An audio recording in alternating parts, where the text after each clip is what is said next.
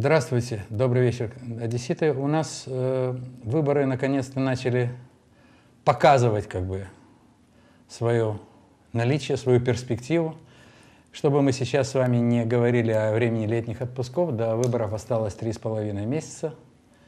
Вот, и определенные подвижки уже произошли, потому что принят закон.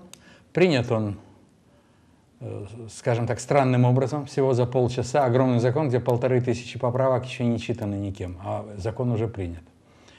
Э, трудно себе представить, что будет разворачиваться дальше, коль скоро выборная кампания идет таким вот странным образом. Закон как бы есть, но пользоваться им еще в полной мере нельзя. Э, я думаю, что происходящие события существенно усложнят выборы для рядового избирателя, а вот этого бы как раз не хотелось. Вот э, в связи со сложностями нового закона о выборах, э, со сложностями самой избирательной кампании, чтобы разобраться рядовому избирателю, нужно начинать заранее, и мы начинаем прямо сейчас. У нас в эфире, у нас в гостях Александр Анатольевич Остапенко. Он не только депутат горсовета, он еще и состоит в комитете, который, собственно, занимается блокированием коррупционной деятельности, в том числе и на выборах. Я не буду называть комитет, у него очень сложное название. Я говорю, антикоррупционная деятельность – это основной профиль работы этого комитета. Здравствуйте, Александр Здравствуйте. Анатольевич. Здравствуйте, уважаемый президент. Значит, хотелось бы, чтобы вы внесли ясность, по крайней мере, по базовым пунктам выборного закона. Что запутаться очень просто даже тем людям, которые регулярно занимаются выборами. Ну, во-первых, надо сказать, что э, несмотря на то, что закон принят, я абсолютно с вами согласен, что есть полторы тысячи поправок около того, которые, о которых мы не знаем. Закон еще не подписан президентом, не опубликован, и поэтому мы э, можем говорить только о каких-то контурах э, там, сказать, первого чтения этого закона и о тех новациях, которых он вносит. Э, первое, что мне хотелось бы сказать, э, как мне кажется, ну, совершенно очевидно, что закон носит такой, знаете, сиюминутный характер. То есть закон написан, э, ну, принимался, это, наверное, и обусловлено порядком его применения, закон э, Поня порядком, порядком его принятия. Его принятия да. угу. Закон написан совершенно очевидно в интересах угу. больших партий, больших партий, которые имеют такие устоявшиеся постоянные команды в регионах. С одной стороны, это хорошо, потому что есть на кого взять ответственность. С другой стороны, это, как мне кажется, этот закон определенным образом ограничивает знаете, там свежее дыхание, которое может прийти со стороны... Вот я хотел бы остановиться на этом моменте. На самом деле нынешний состав Верховной Рады шел на свои теперешние выборные должности с одним общим лозунгом «давайте новые лица новых людей». Теперь они уже не совсем новые люди, они блокируют попадание э, в выборные органы на местах новых людей. Ну, мое субъективное мнение, да, это происходит. Почему? Потому что э, ну, э, совершенно очевидно, как мне кажется, есть понимание и в ком у команды президента, и там, у коалиции, которая находится в Верховной Раде, не хотят ревизий вот, и, и боятся новых вызовов. И я бы даже поэтому, я осложнил, я осложнил ситуацию. Они не только боятся новых, они по существу блокируют возможность создания политической жизни в стране. Потому что существующие большие партии, по большому счету, политическими не являются. Это клубы по интересам. Ну... И сформированы они как клубы по интересам. И действуют они клубы по, по коммерческим, собственническим интересам. Если говорить о том, что партии только должны зародиться, то у них очень странная перспектива. Для того, чтобы партию узнали, за нее начали голосовать, она должна иметь какую-то историю развития. А новая партия, или вот мы начали с вами, нашли так, единомышленников, нашли источники финансирования, начали проектировать новую партию, которая представляет значительную часть населения. И что же нам делать? Мы не можем быть избраны даже на первичных выборах сюда, потому что нам большие партии заблокировали, чтобы ничего в стране ну, не менялось. Юрий Ильич, не совсем все так. То есть э, не то, что не заблокировали. Как раз вот э, норму, которая там э, обязывает партию существовать 365 дней, чтобы участвовать в выборах, угу. она как раз эта норма не прошла. Это одна из поправок, которая исключила эту норму. Но э, сам закон так выписан, э, понимаете, вот, как мне кажется, это не совсем пропорциональная система и не совсем мажоритарная система. А какая это, же она? Это какая-то средняя такая итерация. Безусловно, Но они ее назвали да, гибридной. Да, гибридной. Так у нас получается, смотрите, война гибридная, у нас мир гибридный, да. теперь у нас выборы гибридные. И, и выборы. Ну вот я же поэтому говорю, что совершенно очевидно, что закон выписывался под э, ситуацию, И совершенно очевидно, что этот закон выписан, э, как ни- я абсолютно убежден, что этот закон будет действовать там полтора-два года до следующих выборов э, в местные советы. То есть это такой промежуточный закон. Он, безусловно, как мне кажется, лучше от того уродского э, закона э, с э, системой, где была половина по пропорциональной, половина по мажоритарной, да, смешанная система, где э, было- были открыты ворота, там сказать, э, коррупции э, в мажоритарных округах и, и манипуляции вот этим вот выдвижением и продвижением в Советы депутатов. Но это не то, точно не то, что э, требовалось и что было подписано в коалиционном соглашении, когда создавалась коалиция. В этом я абсолютно убежден. То есть это не то, что хотели люди. Да, есть открытые списки, э, каждая партия выдвигает, там, э, ну, допустим, для города Одессы 90 кандидатов в депутаты. Эти кандидаты в депутаты будут представлены по одному на 90 округах в городе Одессе. Как мне кажется, э, э, что важно, э, не исключили механизм коррупции, потому что каждая политическая сила, их у нас там более 200, выставит своего кандидата. Мало того, есть возможность манипулирования самими политическими силами и есть возможность коррупции на партийном уровне, да, когда там будут специально делать так, чтобы э, ослабить или усилить там слабых кандидатов или ослабить сильных кандидатов для того, чтобы прошел кто-то третий. Да, это, это один вид коррупции. А с другой стороны, э, как для меня очевидно, что э, если будут представлены там те же бонзы, да, скажем там, э, с большими материальными и финансовыми возможностями, у них есть абсолютно четкая э, возможность, которую трудно будет предотвратить, там раздать тысячу человек там, по 200 гривен, не такие уж большие деньги, в принципе, для и- и- избирать- избирателей, э, избирательной кампании.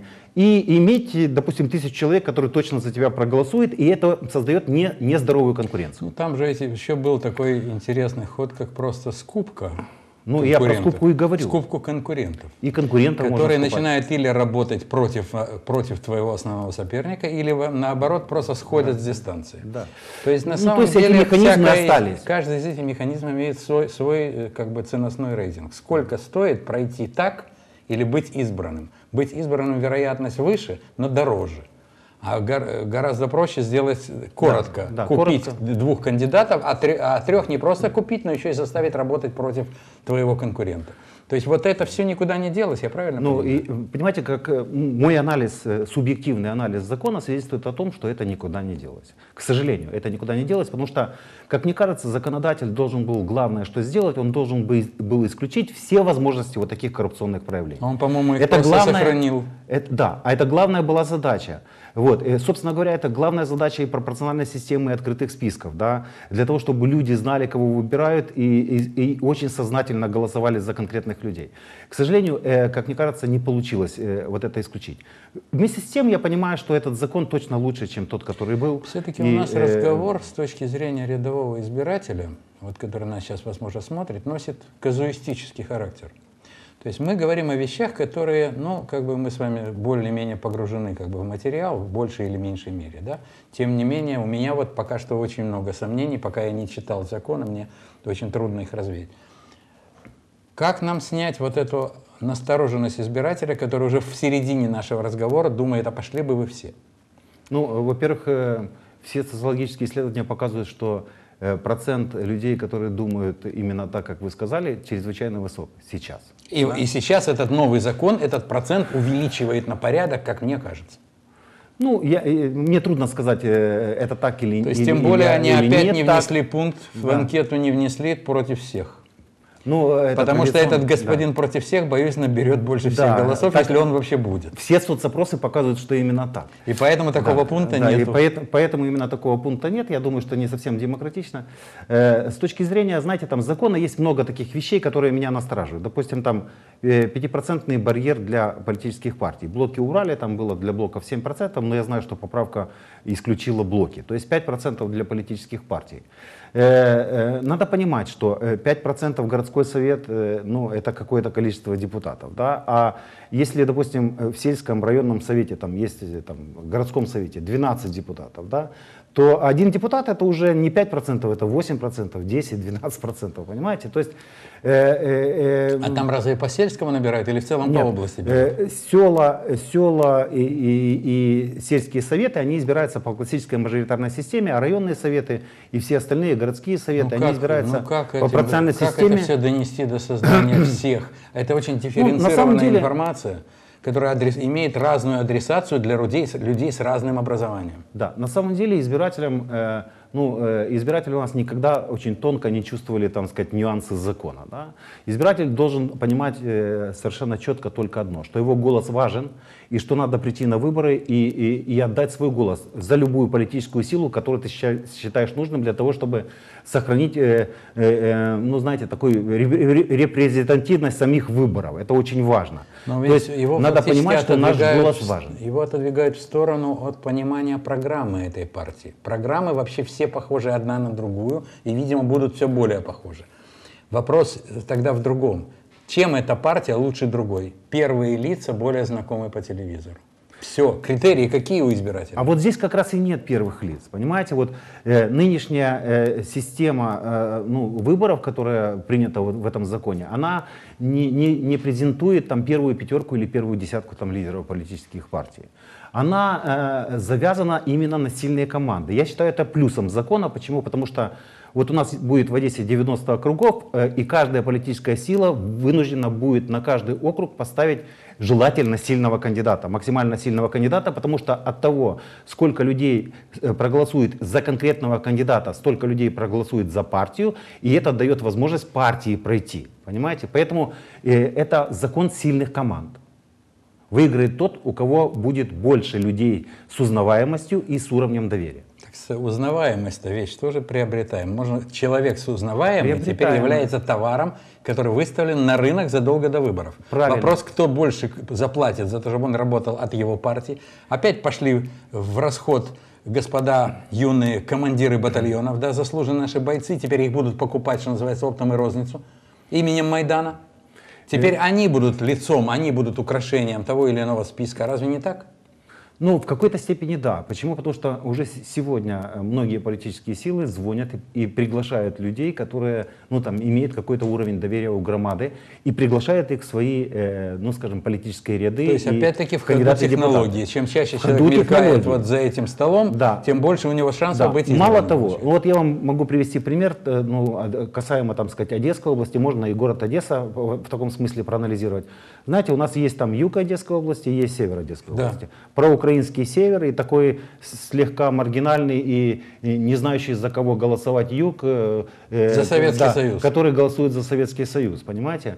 И, и теперь получается, что, э, ну скажем там, для оппозиционного блока, для коммунистов, желательно максимум э, э, кандидатов в депутаты поставить на юге, а для, э, скажем, вот этих сил, которые относятся к демократическому лагерю, лучше э, и, э, так сказать, избираться на севере. Отсюда такая ненормальная конкуренция. Да? Даже внутрипартийная будет конкуренция. Почему? Потому что понятное дело, что каждая политическая сила должна выставить и там, и там, но э, получается, что э, те люди, которые будут избираться, допустим, на юге, в областной совет, и на севере, будут не одинаковые, с неодинаковыми возможностями. Уважаемые телезрители, выборная кампания началась. У нас очень интересный человек, который разбирается в выборных технологиях. Это Александр Анатольевич Остапенко, телефон 737-73-10. Звоните, задавайте вопросы. Это ваш выбор. Да. Значит, я хорошо помню, как один раскрученный, уже побывавший на вершинах власти кандидат от одного блока вызывает на публичные дебаты тоже раскрученного, более скромного кандидата из другого блока со следующим манком. Дорогой мой, у тебя самые главные противники внутри твоей партии. Если ты будешь со мной дискутировать, то ты наберешь пару очков в моем электорате. Мы друг другу не соперники. У меня тоже основные противники в нашем лагере. Поэтому если мы будем друг, друг на друге тут, э, значит, вот, самоутверждаться да, по отношению друг к другу, если мы будем с тобой спорить в эфире, наберешь и ты, и я, при этом вреда никакого. И это серьезная, серьезная заявка, которая как бы претендует на технологии. Я так понимаю, что сейчас вот такого рода вызовы на дебаты с минимальным риском станут тоже технологически приемлемыми. Ну, да? безусловно. Вы знаете, э, ну, э, совершенно нельзя представить, что те, кто голосует, допустим, там, за оппозиционный блок или там, за партию коммунистов, будут голосовать там, за Народный фронт или за Всеукраинское объединение Батькивщина, допустим. Поэтому да, э, такие технологии возможны.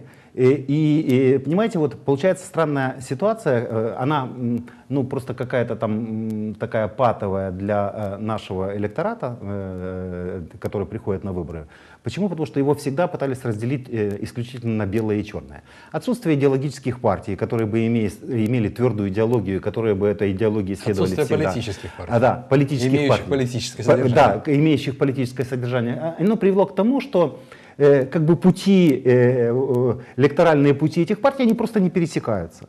Поэтому конкурирует, ну скажем, э, вот, э, демократические силы друг с другом, силы, которые там олиц- олицетворяют там, бывший Советский Союз, там, партию коммунистов, оппозиционный блок с друг другом. Но И они все просто, топчутся сх- население при- просто сходит с ума, Да, потому они что начинают ругаться те, которые должны поругаться после того, как их изберут. Да, да. Они начинают происходит. ругаться здесь, чтобы завоевать какие-то голоса. Так и происходит.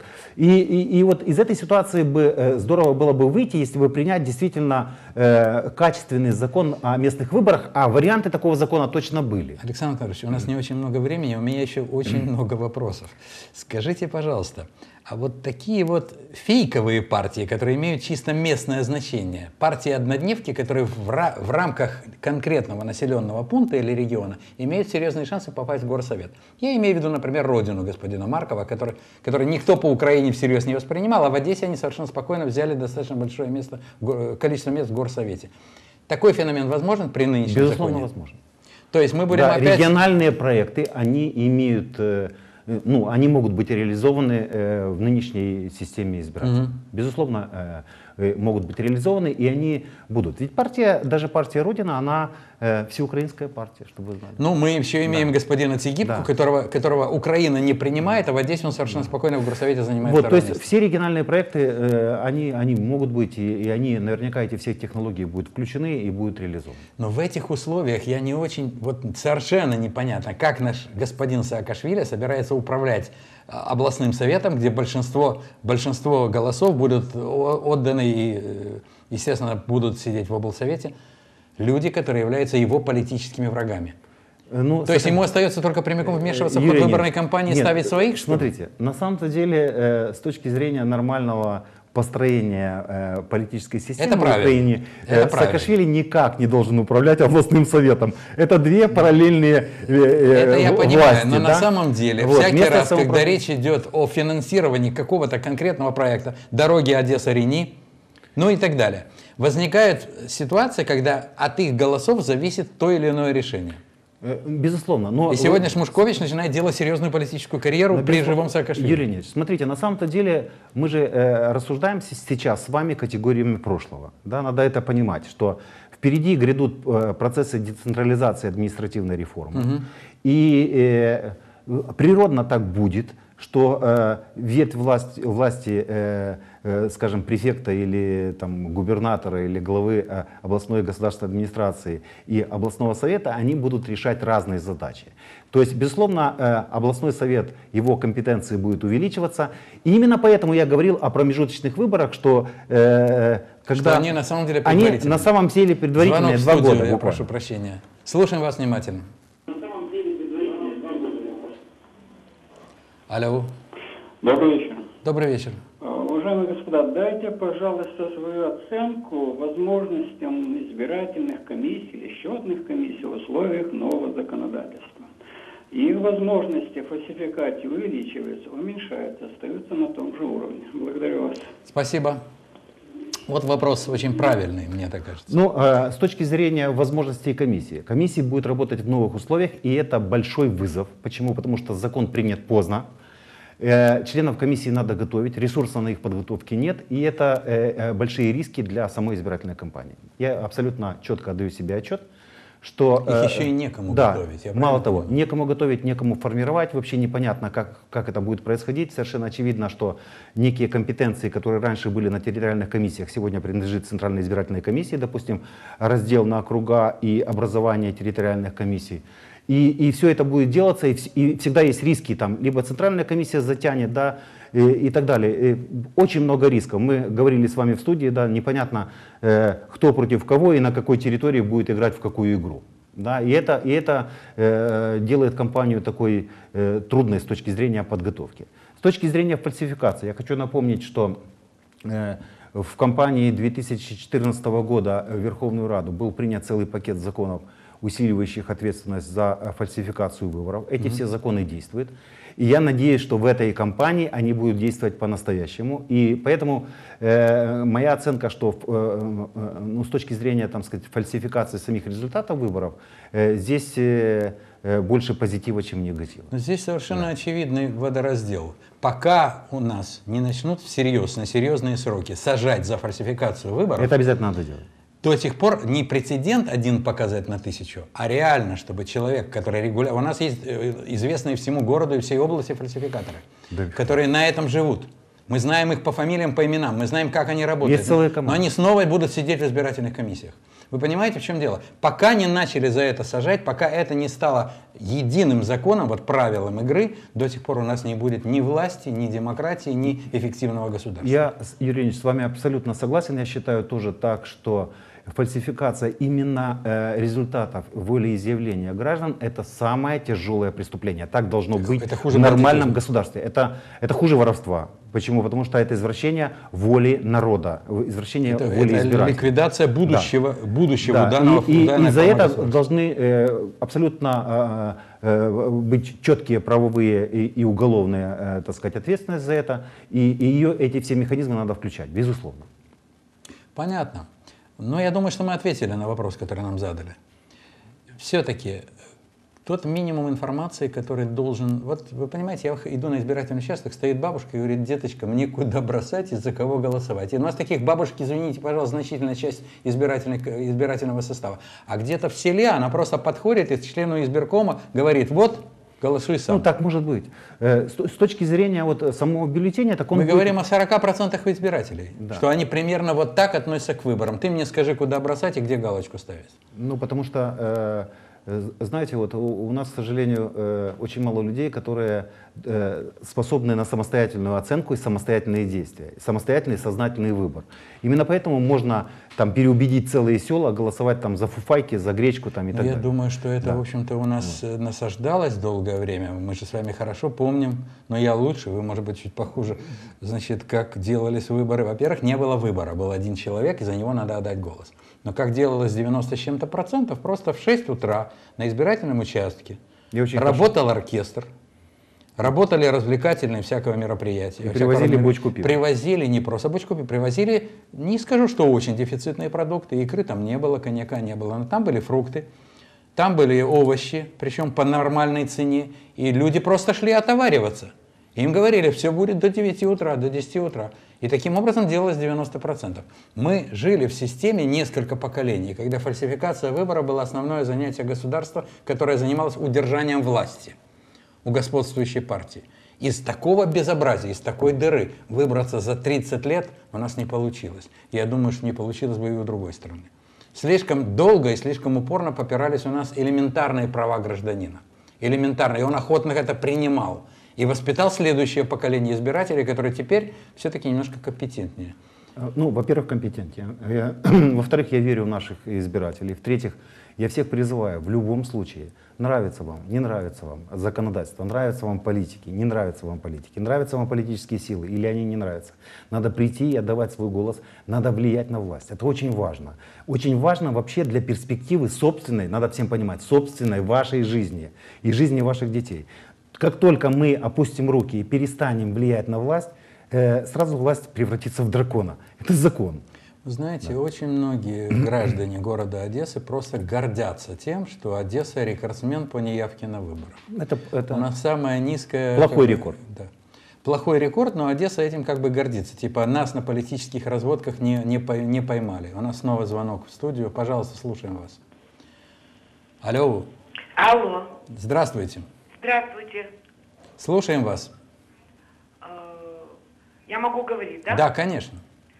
Э, Добрый вечер еще раз. Добрый вечер. Дело в том, что я долгие годы наблюдаю отношение людей к выборам одесситов. Я одесситка. Значит, люди из-за того, что власть систематически обманывает людей и игнорирует их интересы, говорят так. Иду я, не иду на выборы. Толку никакого. И не буду. Я убеждаю, говорю, что нужно. Что никто за тебя не должен решать твою судьбу. Они говорят, нет, как было, так и будет. Как господин Остапенко прокомментирует это? Спасибо. Ну, так я, я, я могу только Спасибо. сказать, что абсолютно, э, только сказать слова э, благодарности вам прежде всего, что вы убеждаете людей, что надо ходить. Я этим тоже занимаюсь. Обязательно надо идти, обязательно надо влиять. Э, Вот, обязательно надо верить, что вы э, знаково можете изменить э, вообще отношение к вам прежде всего. Надо себя уважать. Вот, и это надо делать. Потому что если мы э, не будем этого пытаться делать, то ничего никогда не изменится. Это надо четко понимать. Мне все-таки кажется, в связи с формулировкой нового закона, в том виде, в котором мы можем сейчас с ним познакомиться, все-таки ситуация поменялась. Я скажу в чем. Такая слабая итерация к улучшению. Я еще раз говорю, слабая итерация. Но это промежуточный закон. Я думаю, что в какой-нибудь Голландии тоже на выборах не все честно. Но нас каждый раз обманывают все более изощренными способами, поскольку мы становимся более изощренными, более квалифицированными избирателями. Поэтому я могу сказать, бороться с такими недостатками, как фальсификация выборов, это занятие достаточно неблагодарное. Но как только мы перестанем бороться, тогда, вообще говоря, государство просто рухнет. Управлять таким государством будут люди, которые не могут им управлять, которые могут только карманы набивать. Мы уже в значительной мере существ... законным, незаконным способом, да, с помощью кирпича и огня, поджогов шин в Киеве и так далее, ценой больших человеческих жертв существенно поменяли не только состав избира... вот этой выборной власти, да, представительской, мы существенно поменяли способы управления в стране. За несколько лет, буквально за, за последние там, 10 лет, мы уже другие. Можно даже сравнивать, какими сейчас являются наши с какой Очень много изменилось за последний год. Очень много. Многие говорят, что они не чувствуют изменений. На самом деле я просто э, чувствую, что эта лавина начала двигаться. И, и м, ну, я просто в ожидании, когда начнутся вот такие вот а, всеобщие, так сказать, изменения по всем, э, на всех фронтах, так сказать, ска- скажем так. Поэтому я могу вам сказать, отвечая на ваш вопрос, уважаемая э, телезрительница, нас, конечно, будут на выборах пытаться обмануть, но то, что они пытаются делать все время это все более изощренными способами, говорит о том, что старые способы не работают, а с новыми им приходится подбираться всякий раз. Видите, они все время переписывают, им все время старые законы неудобны. Почему? Потому что мы стали лучше, мы бы стали более зрелыми. И поэтому ходить на выборы надо, голосовать Абсолютно нужно. точно. Участвовать в выборах нужно, это ваше гражданское право, это ваш способ влияния на управление страной. Так? Абсолютно точно, абсолютно точно, абсолютно просто стопроцентное э, попадание, так сказать, в то, что я думаю, что считаю важным и что считаю нужным. Надо прийти на выборы, надо голосовать, надо э, э, пытаться влиять на власть и, и это делать все более активно. Тут есть еще один принципиальный момент. Рядом с вами ходит огромное количество еще не избирателей. Это люди, которым еще нету 18 лет. Тем, кого 16, 15 и так далее. Этих людей достаточно много. Они внимательно в школьные годы смотрят и интересуются тем, чем живет страна. Они знают, что их совершеннолетие совпадет с правом делать выбор. Им надо все это говорить, их надо воспитывать. Я очень хотел бы, чтобы следующее поколение избирателей было грамотнее нынешнего. Оно точно это будет очень грамотно. важно.